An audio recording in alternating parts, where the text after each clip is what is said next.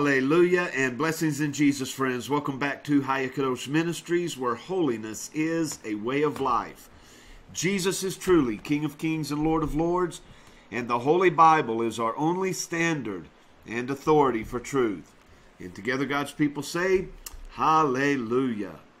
Well, friends, today is November the 19th in the year of our Lord 2017, and this is One a Day for the Soul. Now, I trust that you are feeling truly blessed in Jesus this morning, filled with His Spirit, that your hopes are set high upon the things of heaven, and that you are thirsty for the Word of the living God that can permeate your soul and transform you into the glorious image of heaven. Well, we are continuing our study in the book of Hebrews this morning, and yesterday when we left off, midway through chapter 5, our subject matter is that of Jesus, who Jesus is. And the writer of Hebrews continues by saying in verse 11, Jesus, of whom we have many things to say and hard to be uttered, seeing that you are dull of hearing. Have you ever met someone where you were telling them the glorious truths of our Master Jesus, and yet you could sense that those truths were not sitting upon their soul, but were merely passing through their ears. And no matter how much effort you put into trying to communicate those truths, you could see they were not finding their mark.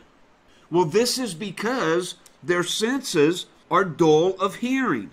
And that's the problem that the writer of Hebrews is having with these that he is writing to. He says in verse 12, For when the time you ought to be teachers, ye have need that one teach you again, which be the first principles of the oracles of God. And you are become such as have need of milk and not of strong meat. Did you know that the last command that Jesus left for his people was to go into the world and make disciples?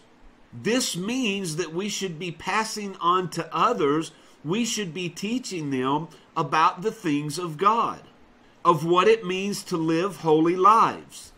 Moving beyond the early principles that we learn as babes in Christ and becoming a full age, mature in Christ, so that we can focus on the more important things. He says in verse 13, For everyone that uses milk is unskillful in the word of righteousness, or everyone who is a babe in Christ is unskillful in the word of righteousness. Well, the word of righteousness is the holy teachings that we have given to us throughout the Bible, from Genesis to Revelation.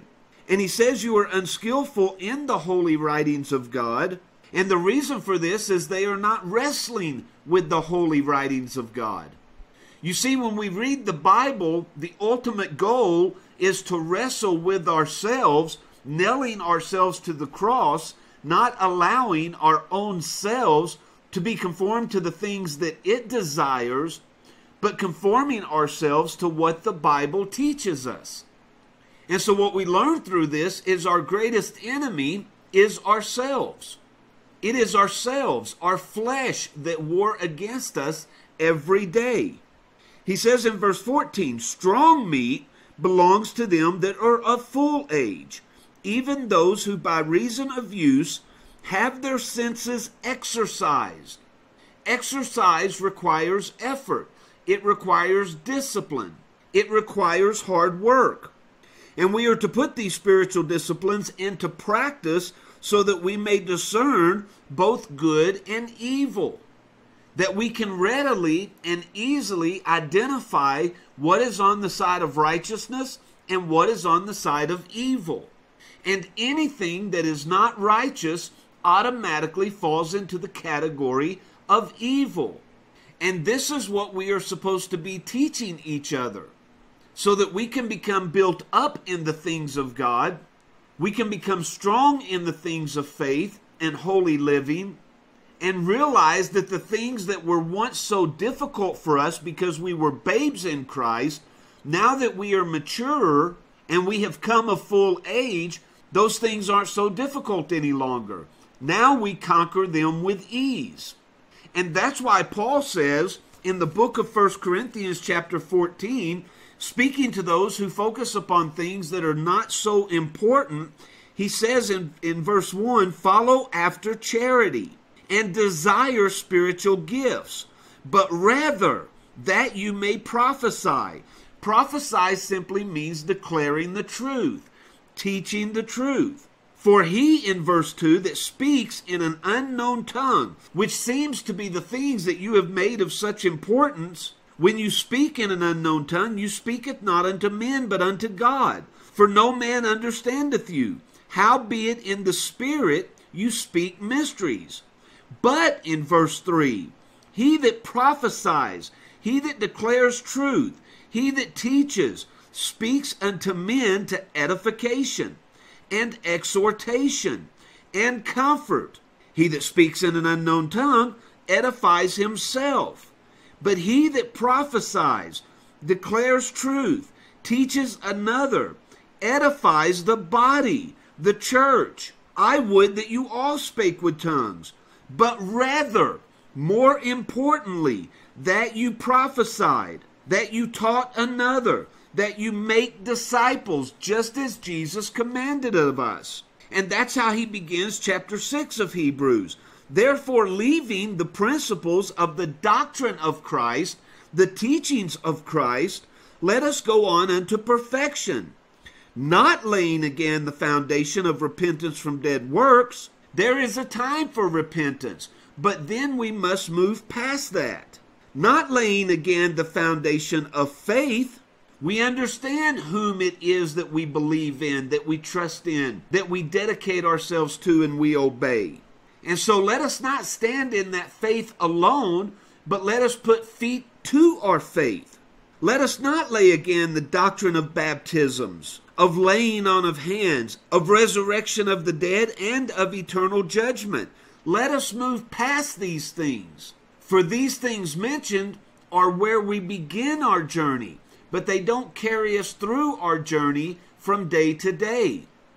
You see, it is only natural when we begin the Christian life that our time is spent resisting the things of this world, the lures and temptations that this world offers us.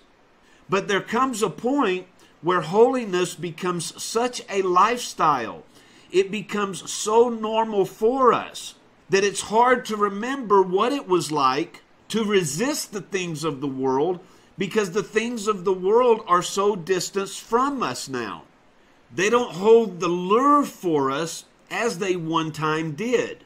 And that's how we know that we're growing as Christians. Because what once influenced us as children no longer has a hold on us as mature adults in Christ. And that's what the Holy Spirit is trying to communicate to the reader. We must work very diligently to press through these elementary issues, these babes in Christ stages of growth, so that we can become the full and mature people of God that He has destined us to be. Well, we're going to close there today, friends, and I pray and trust that the Word of God is having an impact on your life that you are being transformed by the renewing of your mind, and that your senses are being exercised to discern between good and evil. Now, as the Lord Jesus wills, friends, and until next time, I truly love you, and I'll see you on the next video.